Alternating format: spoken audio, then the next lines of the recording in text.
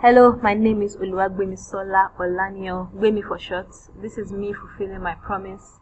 Um, this is going to be a very short demo. Feel free to ask your questions if you're unclear.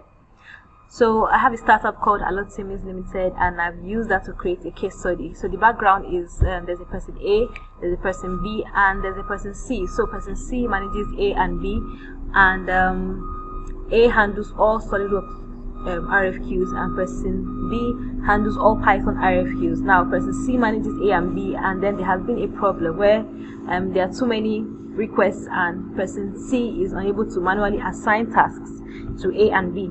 So now person C needs something automated, wants something very fast. So she doesn't have to be the one assigning the tasks manually. So the problem is um, person C is unable to handle so many requests and um, needs something automated to be able to assign tasks sometimes. So it's peculiar to team leads, managers, and Power Automate actually solves this problem for us. So once you have a Microsoft Office 365 subscription, you are good to go. So the steps is to um, create an RF, um, to receive an RFQ from Outlook. There are other ways of receiving RFQs, but for this course we're using Outlook alone. Then a task is created in Planner, and um, the task is assigned to the person in charge. So for SolidWorks, all RFQs go to, to person A. For Python, all RFQs goes to person B.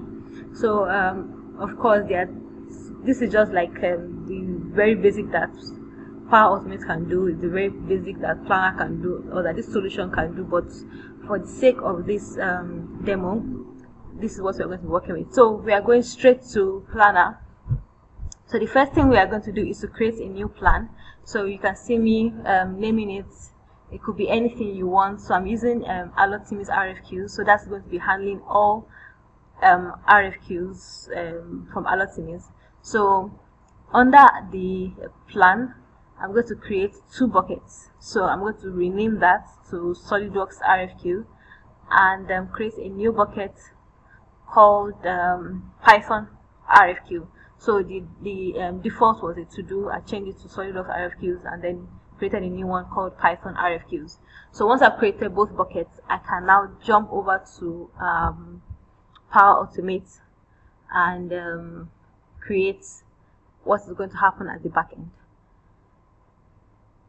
Okay, so this is Power Automate, and you can see there are a whole lot of tools, but I'm going to jump straight into uh, what we're going to um, be using for this demo.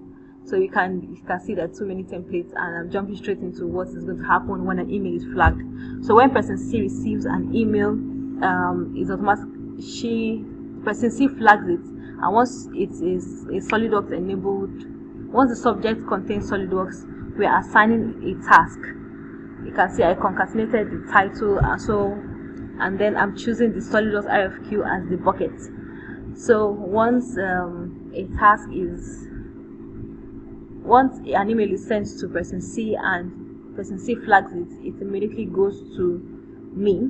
That is um, the email address, and then I'm changing the due date to two days after the um, request is received and then I'm just adding a couple of checklists to the um, to the task.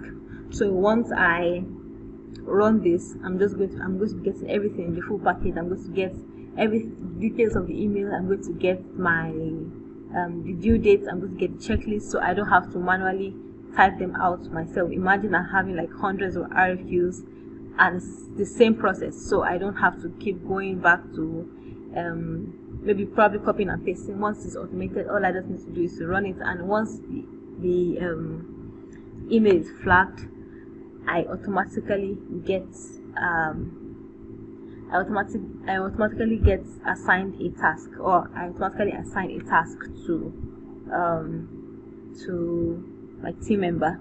So I'm saving it and then I'm test running it. So this is um, a manual test run and okay I've created the whole workflow. So I'll go to the email and I'll flag it. So this is me flagging a sample email. You can see it contains um, the subject SolidWorks. So I went back and I um, refreshed. I refreshed the planner page and then you will see the RFQ has been created. Oh sorry the plan the task has been created and you can see the start date and the due date. So that's two days after the start date and then you can see the checklist. So i can of course once i finish doing a task i can just check it that i'm done and uh, you can see the body of the of the uh, plan the notes is the body of the email. So that's just about it. Because you can do tons of other things. Um, so i'm just deleting one so another thing you can do is once if you have a ton of um, plans you can export it to excel and okay. So you can then you can see you can get a full list of your tasks you can get a full list of your um, everything of all your tasks and you can see the um, progress of each of them. You can see the due dates can see the description you can see everything. So that's just a very very very short demo of um, how Power Automate works so of course there are loads of other features that I enjoy you to play around with. You can schedule reminders, you can add conditions, you can add delays, you can use the AI builder, you can extract information from forms and documents, you can create Teams notification, you can do a whole lot with Power Automate. So you can just play around and see what um, you can use to um, automate your workflow and make life easier for you. So if you have any questions, you can watch YouTube videos or you can message me on LinkedIn and I will try to respond. So thank you for watching my demo. See you soon.